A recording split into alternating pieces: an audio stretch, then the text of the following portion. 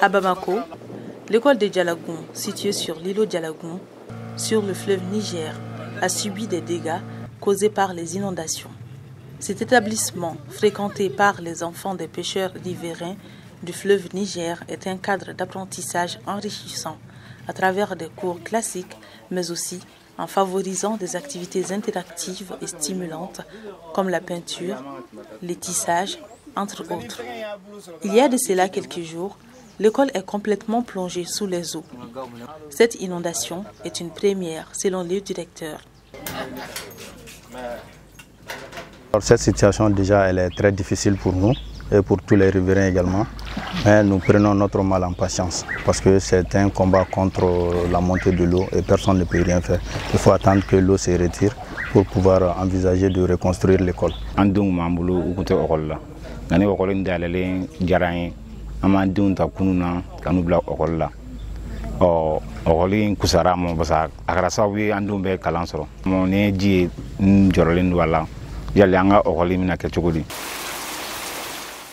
Des pirogues assurent le transport des élèves sur l'îlot.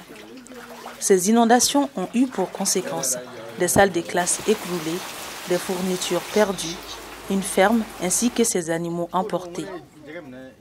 ne ye miiri k'a fɔ ni ji ma jigin an tɛna se ka kalan kɛ ne ka so in binna sagaw ka sulu binna an tun bɛ pɔnezi mara la o so fana binna bɔn ɲɛta so ɲɛta yɔrɔ la katremande gwa binna premande gwa binna i y'a ye ji yɛrɛ tun donna a minɛn bɛɛ kɔrɔ f'an sera ka minɛn bɛɛ kɔrɔta kɔrɔta sanfɛ pour que ka se ka ji kana se k'u sɔrɔ sɛŋɛ ekɔliso caman bɛ yan minnu benna pirimari benna desimani benna an ka kilasi yɛrɛ benna katremande ɲinɛ ne kun kan ka taa sɛŋɛmande la Les responsables de l'établissement, les élèves et leurs parents demandent de l'assistance des autorités et des bonnes volontés.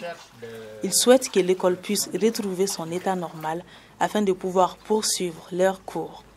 Les élèves conscients de l'importance des formations reçues dans cette école font espoir pour une reconstruction de leur école avant la nouvelle rentrée scolaire fixée au 4 novembre.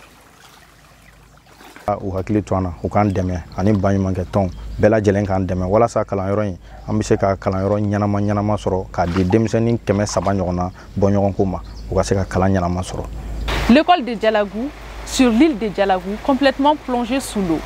Ici étudie un grand nombre d'élèves, filles comme garçons, dont l'espoir est de retourner sur les bancs.